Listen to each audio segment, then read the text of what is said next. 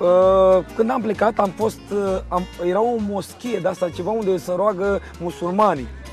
O chestie de asta înaltă, ca un vârf de castet.